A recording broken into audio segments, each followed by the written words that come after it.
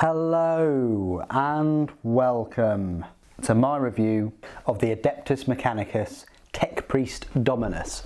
A little bit of a mouthful. This model uh, separately will cost you £22. Um, alternatively, you get him in the uh, new Warhammer 40,000 expansion set uh, called Forgebane, uh, which costs you £95. So in a way, if you really wanted this model and you didn't want to buy them separately, you can just see that all the other models in the set you're getting for £73 or so. I need to point out it is the same model that came out, what, four years ago? With the uh, Skitarii and subsequent Cult Mechanicus um, releases. So this set is great. Really easy, straightforward, put together. Um, not really many issues. The only issues you, you might have is sort of painting it. Um, Mechanicus, you know, they do require uh, a lot of investment in painting, and I can I can completely understand um, why so many people uh, spray the parts first, paint them, and then glue them together because it's very difficult to get all your highlighting and things right in between all the robes without you know painting over you know metal and things that you've already done. Um, but having said that, I always like to try and build all of my models completely uh, so that I can review them as a sort of full full model. Um, I've slightly changed mine. I've got two of these now. Um, I've gone for this kind of rectangle, rectangular kind of head um, that's different than the, the hood. I do prefer the hood, uh, even though this one's on the Cult Mechanicus um, Codex uh, front page. Um, and I've also changed the weapons. Um, I've got the Volkite weapon and the Serpenta, I think it is. Uh, but I'll go through those in the rules in a moment. Instead of the other two weapons, which is on my other uh, Tech Priest. Still, fantastic looking model. Uh, very kind of grim dark. Really liked where Games Workshop uh, were going with, uh, with this uh, with the range, and uh, I only just wish that they'd brought out more and more models and things for uh, Mechanicus. Forge World have done a good job. Uh, they've been bringing out quite a few variations. Uh, there's a nice selection now of Grimdark models there. They're about to get the, the big termite drill thing, um, and it looks like they are still investing uh, some resources into the, the kind of Horus Heresy um, Mechanicum kind of range. Yes, Mechanicus are missing out on a uh, transport at the moment uh, for 40k and flyers and things like that, um, but hopefully we'll get them in the in the future. So yeah, about this model, quite straightforward, uh, simple to build, very quick and easy. You won't have any problems with this one. Uh, the only problems you might have is these kind of um, weak points, um, like this little claw thing, maybe his arms. Uh, but uh, other than that, um, quite a nice little kit and it won't take too long to um, put them together. Okay, uh, just because I've been reviewing uh, lots of other models today, I've got the Cryptek. Um, the Cryptek is taller, plus he's brought along a friend, and uh, the old Dominus is uh, feeling a little bit sad because does he have emotion? Probably not. He's feeling uh, negative one at the moment, but still, um, that just goes to show you that the Cryptek is taller the main bulk of the Cryptek model is taller, although the axe is, is taller uh, than the Cryptek if you want to be really, really sort of accurate with it, which I'm sure machines would, and I'm sure this Dominus would say that he is taller. Um, so that's uh, next to a Cryptek, next to a Lychguard. So yeah, taller than a Lychguard. So therefore he'd be taller than all the Skitarii. I don't have the Skitarii with me at the moment. Um, you might want to see him next to the Armiger, which doesn't even fit on the uh, screen, but there you go. The Armiger's definitely taller and definitely taller than his axe.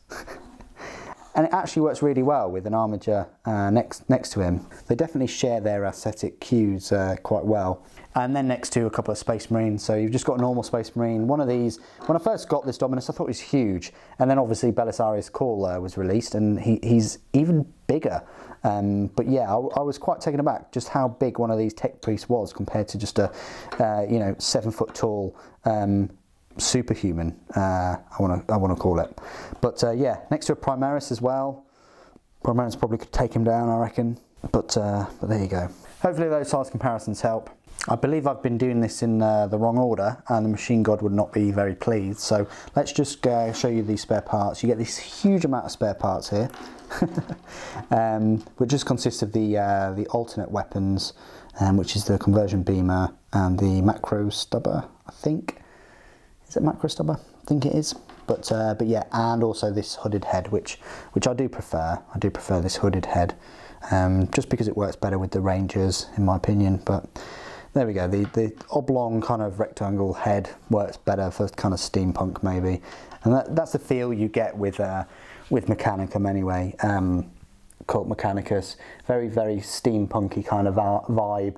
You know, machines, but yet they've got wood on some of their weapons um, and loads of pistons, and you can just imagine them hissing and whirring and clicking and making all kinds of, uh, you know, machine-like uh, noises, blurting scrap code and things like that. Anyway, there are the, uh, the spare parts. And now this is my part of the review where I'll talk to you about all of the rules for the Tech Priest Dominus. Um, I'll cover them in depth because I'm covering all of the Adeptus Mechanicus and all the units that I own.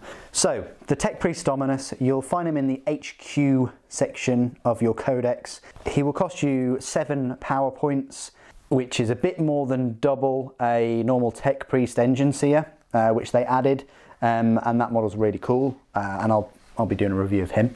Um, and a little bit more than half the price of Belisarius, which is 13 power points. But match play points cost wise, he will cost you 125 points base, and then you've got to buy his, his Omniscient Axe, Volkite Blaster, and Macro Stubber which is only 10 points more. Um, so it's going to cost you 135 points match play. Uh, I think that's still quite decent for what he brings to the table. Uh, no pun intended. You can, of course, replace the Volkite Blaster with an Eradication Ray, uh, which is 14 points, um, so six points more than a Volkite Blaster, and the Phosphor Serpenta, which again is more points, it's six points. So it's an extra 20 points, so it's 145 points instead of 135. So a bit more pricey if you wanted to swap his weapons out. You are getting his axe for free. So his profile then. His movement is six inches, his weapon skill 3 plus, ballistic skill is 2 plus, strength 4, toughness 4, 5 wounds, 3 attacks, leadership 8, and a save of 2 plus. Would have been great if his leadership was nine or 10 even. Uh, would have been great if his toughness was five because he's basically a machine and Belisarius' toughness is six anyway.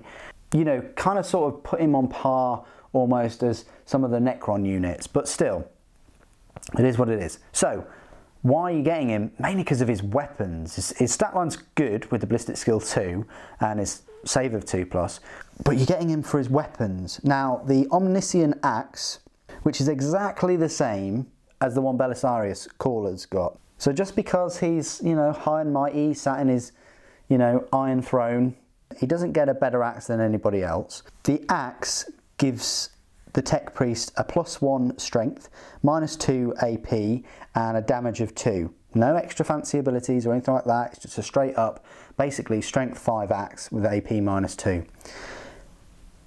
Where it really gets interesting though is the range weapons. So the main two range weapons you're going to give the Tech Priest is either the Eradication Ray or the Volkite Blaster. Now he comes with the Volkite Blaster so I'm going to talk about that one first. The Volkite Blaster is a range 24 inch weapon, heavy 3, strength 6, AP 0, damage 1 but each time you make a wound roll of a 6 plus for the weapon, the target suffers a mortal wound in addition to any other damage. So that's great. It's definitely getting 3 shots, uh, strength 6, the AP is nothing though, but you do have uh, a chance when, you, when wounding of getting that uh, mortal wound. I'm not going to concentrate too heavily on which is which is better because I've got two Tech Priest Dominuses with the two weapon loadouts available. Um, but I will say that the Eradication Ray uh, is the same range, 24 inches. It's heavy D3, so you're throwing that random, you know, shots into play here. It is the same strength, strength 6, but it is a better AP. It's got minus 2, and attacks from the weapon that target enemies at 8 inches or less are resolved with an AP of minus 4 and damage of D3. And that's what sets it apart. The Eradication Ray, although statistically one could say you've got a higher probability of getting a two or more shots, um, which is still less than the Volkite Blaster, whichever way you look at it. It has the potential, its base armor penetration is better for the eradication ray, and if it's at 8 inches, then you're getting AP minus 4, but also your damage is, is again, is going to be 2 or more, you know, with a, with a D3 um, probability. So the Volkite Blaster, if you definitely want 3 heavy shots a turn, and you want a chance of getting a mortal wound, the Eradication Ray, uh, if you want the AP minus 4, and more damage, but, you know, at a shorter range. So it really depends on your play style. If you want to be up close and personal with the Tech Priest, or do you want to keep your distance a bit? With a strength of only four, though, even upping it to five, and a toughness of only four, and not a huge number of attacks, I'd err on the caution of trying to keep this guy quite far back uh, and only have him in melee as kind of like a as a consequence of uh, the enemy happening to get too close to him. The other two range weapons are a fair bit smaller. You've either got the Macro Stubber or the Phosphor Serpenta. The Macro Stubber is a 12 inch 5 shot pistol with a strength 4. That's it. That's all you get. You're getting your 5 shots at range of 12 inches and strength 4. No other abilities or anything like that. It's nice, you know, getting your 5 shots, uh, but it's not going to set the world on fire. The Phosphor Serpenta, however, may literally set the world on fire. It's a further ranged weapon, uh, quite a nice long range, you know, 18 inches. Um, it's assault weapon, salt 1, so you're only getting your one shot, but your strength is 5, your AP is better at minus 1, and your damage is 1. Units attacked by the weapon don't get any don't gain any bonus to their saving throws for being in cover. We've talked in length about his weapons, let's talk about his abilities. He's got the Canticles of the Omnissiah, and I will go through these in detail. So all units with this ability gain a bonus during the battle depending on the Canticle of the Omnissiah currently being canted. Uh, at the start of each battle round, you pick which Canticle of the Omnissiah from the table is in effect for the duration of the battle round. The same Canticle may not be picked twice during the same battle, so you can only pick it once. Alternatively, you can randomly determine which Canticle of the Omnissiah is in effect by rolling a d6 and consulting the table below. Note if you randomly determine a canticle, it takes effect even if the same canticle has been in effect earlier in the battle. If you have a battle forged army, units only receive the bonus if every model in their detachment has this ability. So you can either pick one or you can randomize it. If you randomize it, you can pretty much use the same one over and over. So the canticles. Incantation of the Iron Soul means you can re-roll morale tests for affected units. Litany of the Electromancer you roll a d6 for each enemy unit that is within one inch of any affected units, and on a roll of a 6, the unit being rolled for suffers d3 mortal wounds. Chant of the Remorseless Fist, you can re-roll any hit rolls of 1 for affected units in the fight phase. Shroud Psalm, affected units gain the bonus to their armour saving throws as if they were in cover, units already in cover are unaffected. Invocation of the Machine Might, affected units have plus 1 strength and Benediction of the Omnissiah, you can reroll failed hit rolls of a 1 for affected units in the shooting phase. So there you go. That's a nice buff that this unit brings. Um, you know, everything from re-rolling hit rolls of a 1 uh, to giving them plus 1 strength uh, to also re-rolling failed hit rolls of a 1. You know, nice set of canticles there and yes you can choose them at the start of each round but once you've used them you can't use it again unless you're randomizing them. That's one of his abilities. his other abilities, so he's got Master of Machines. At the end of the movement phase, the model can repair a single friendly Forge World or Questor Mechanicus model within 3 inches, but not itself. It says that specifically.